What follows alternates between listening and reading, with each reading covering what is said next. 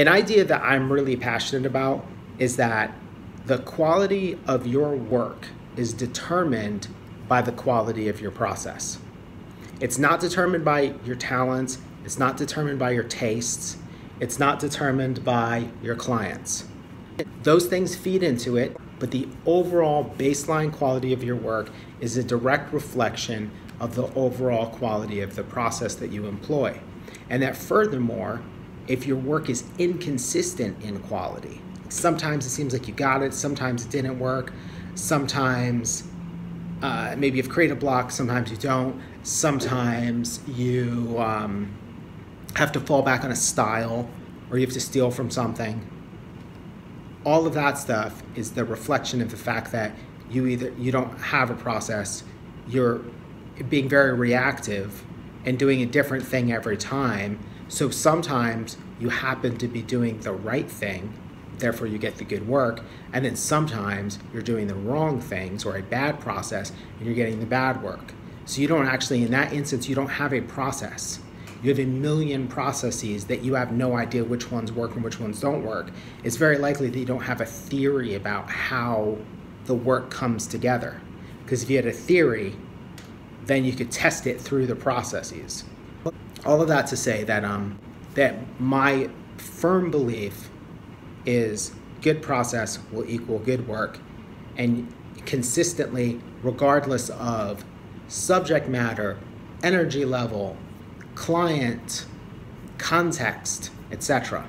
Now, one of the things is that people love to tell you that creativity is messy and creativity is hard and um, it, it's a mystery and all of this stuff.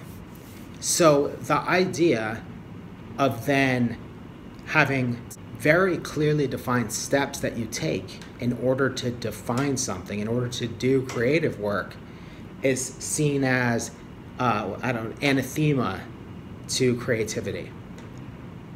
What I find is that the more clearly I define those steps, the better the work gets, the more creative the work gets.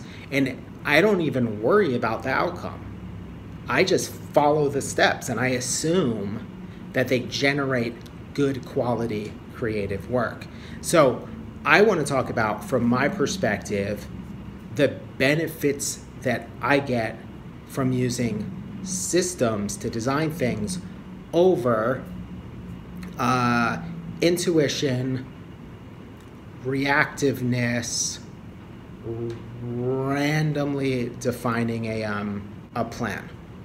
In my hope to argue that you should investigate developing methods for designing things, developing methods for making stuff. So, the first one, your work will be more original. Now, I don't mean that it will be more original, that you will suddenly be a groundbreaking conceptual or formalist designer, because you may not be a formalist at heart.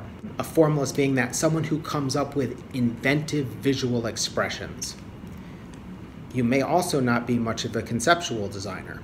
But I mean original in that one of the things a system can do is actually help to stamp out the urge or desire to copy existing things.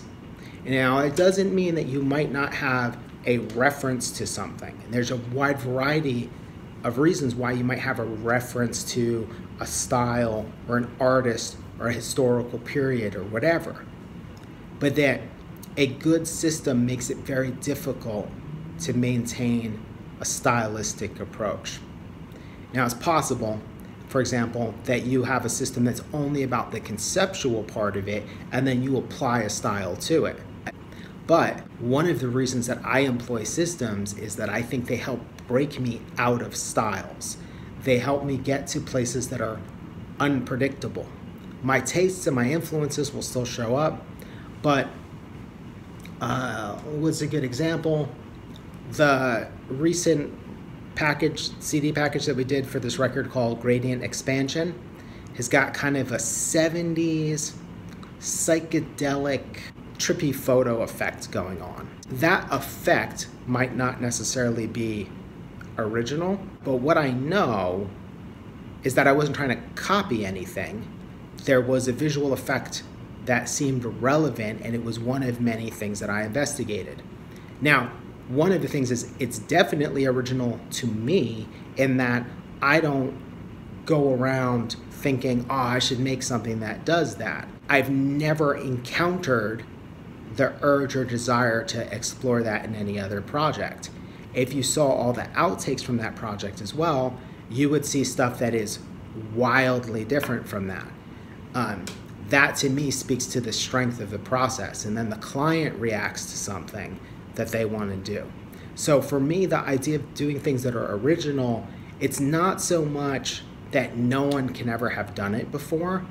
It's that I don't want to do the kind of things I used to do, which is that I wanted to work in a style. I was looking for excuses to work in a style. Or when shit didn't work out, I fell back onto a style. Uh, I'm fine with a style, but I want it to emerge throughout the process in a way that feels natural. Like like the road just winded that way and it was a good place to go. Um, furthermore, though, you can use systems like a bed Bedno diagram as a way to purposefully explore multiple styles. So you could use a system to generate a concept, which is like a what is a concept? A concept is like a, a language based way of, of expressing something, I guess. And I don't know how to describe it. But then I could say, like, I could have a concept, and then I could come up with a list of potential styles that do or do not make sense to apply to that concept. Then all of a sudden, maybe I still end up doing my kind of uh, retro modernist Helvetica thing, but maybe I'm also looking at a bunch of stuff, this huge spectrum of things. And maybe that offers room for mutation so that when I decide to rip off, uh, you know, the, the like gridded purple and black uh, Euro style thing that the kids are doing, and maybe when I see that and I see the versions I've done in four other styles, that all of a sudden I'm like, wait a second, what about this and this? It opens up the potential for these kind of mutations. Or that you can take, you can have bed Bedno diagrams with these, these different aspects of composition, typography, and layout, and you could use the system solely to find a unique visual approach to put on top of a verbal concept. I personally have always been kind of like a thinker. Like like I've always had kind of heady concepts for stuff. But I was always limited by the kind of ideas that I could come up with.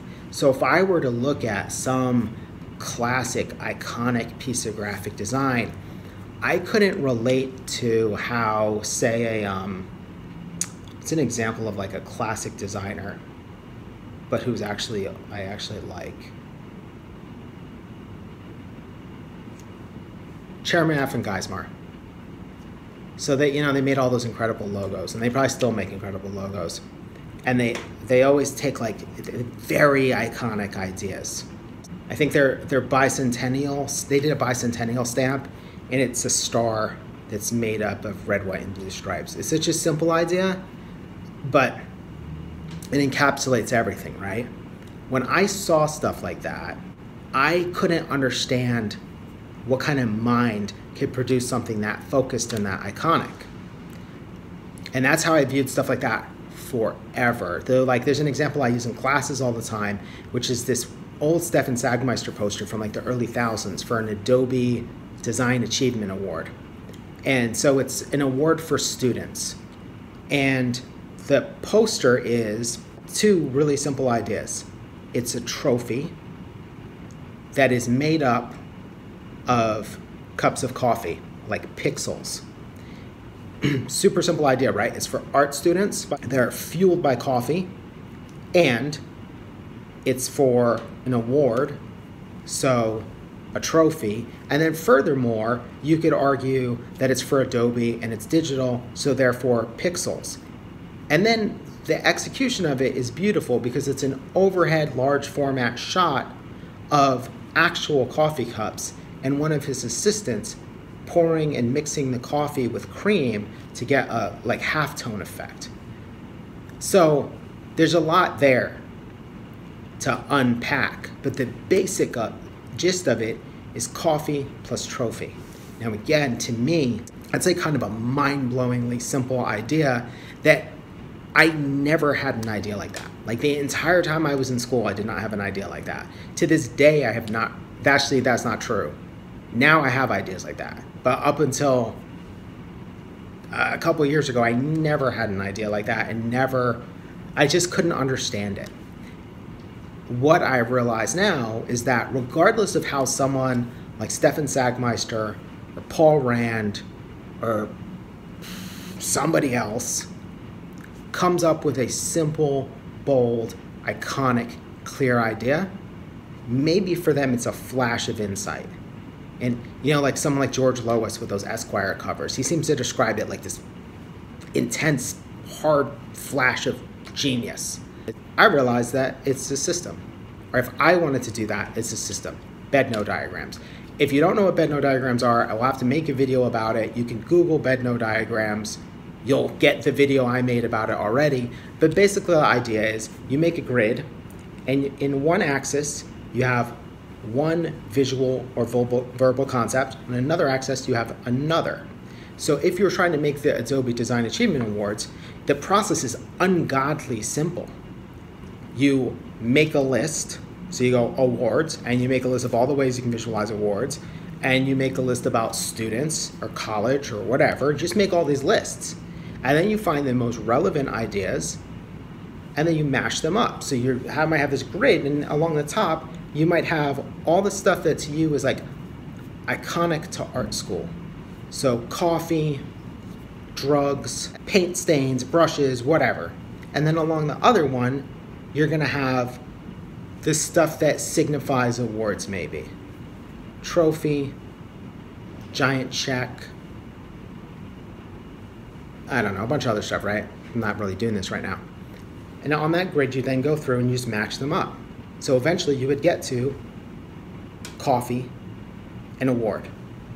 And then you do a Google image search for all the ways that coffee is visualized. And you do another one for all the way awards are visualized. And then you start sketching combinations. And furthermore, you may see a picture of six cups of coffee with different color values, realize they look like pixels, and go, oh my God, what if we make the award out of coffee like pixels?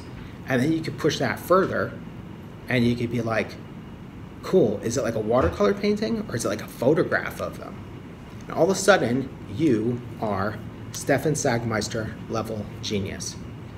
That's a system. That's that's how it works, and that's why I harp on it.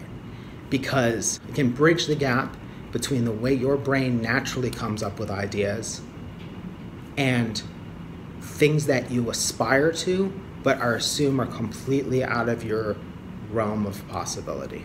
The last thing that I would say that systems do is they reduce stress. So if you think about if you start a project and you know that one, you could potentially do it in a number of processes. Depending on the timeline, you can actually do a number of processes. If you have six months to do a project, you can actually work through multiple methodologies. But that's that's a lot of confidence right there. But if you go through it and you go, oh cool, I've got this method and this method. So if I back up to one of my own examples, I just had students designing a film festival. And for the ideation phase of it, there were two separate two week methods. One of them is a more intuitive, but still was based on research, analysis, and then trying to find insights about the content that they could then draw a concept out of. That's a system, it's a harder system to work, but it's a system nonetheless if you respect it. Then the other one was the more simplistic Bedno diagram system. Some students got great results out of both, some students, the insights shit is too hard for them, and the Bedno diagrams is fantastic. Other people got this really nice mix, it just depends. But what ends up happening is like within a short period of time, because like I say two weeks each, but that's because we meet once a week. If we worked together in a building, we could have done one of those in a week and the other one in two days. They go through that, right? Now they know that there are multiple ways to generate ideas. One is intuitive, one is more systemic. And then you go into all projects and you know that there are systems that guarantee results as long as you chill out and run with the systems. This is why I use systems the other thing is I find it fun. There's a gamification factor to it as well that I really like. Like I like the idea that if I do these steps, I should get to an endpoint that I wasn't expecting to get to. The thing that I see is that a lot of what we describe as being creative actually sucks. Not knowing if you're gonna have an idea and being stressed out about it and thinking really fucking hard about it and going for walks and going to the museum and bullshit, bullshit, bullshit that stuff that's not fun. That's not the good the good part of the creative process is when an idea plops in front of you and it feels like a gift from the universe. That's what i find. Like my favorite thing in all creative endeavors is to almost feel like i didn't do anything. Like the shit just showed up. And to me that's what the systems do and that's why it's so cool. One of the things i look forward to that we haven't gotten into yet is doing something like the producer method or the typographer method, I can bring my friends in to work with me in a way that doesn't require us to do the form of compromise where where both I mean the form of collaboration where we're both compromising and sort of disappointed or both frustrated that we're not seeing our vision come through or trying to get the other to that side. Because it's like the comprom- the the collaboration where magically we both end up on the same page, I feel like that's kind of rare. But if we reduce it to tasks, fun tasks, what are we doing? Well, we have to find some visual element to try to figure out how to make like a typographic anchor from. The date, the name, maybe a headline, maybe initials, whatever, maybe the city. We gotta just take that one piece and do like 100 versions before the end of the day. That's fun. Like, I can bring my friends in, and in that instance, they're going to generate a bunch of stuff. If I don't use any of it, fine. If I use all of it, fine. But it's fun. It's like a fun way to spend the day. Um, and it and it's like all of a sudden that's going to make it like even more surprising at the end. And like that's one of the things I'm looking forward to, which is like the system because it's about tasks and steps I don't have to do the steps or I can do them with people. You know, I could start a project with 10 of my friends and then to, as I get towards the end, narrow it down to where like they helped me generate stuff, but it's my job to put it together. Or we could just keep making stuff together and just generate tons of material uh, in a way that I can't see how I would have done that earlier. I can't see how I would do that in a normal design environment those are my thoughts on why systems are so helpful and why they've radically changed my creative work and why I'm happy for it and I don't procrastinate anymore. And I used to.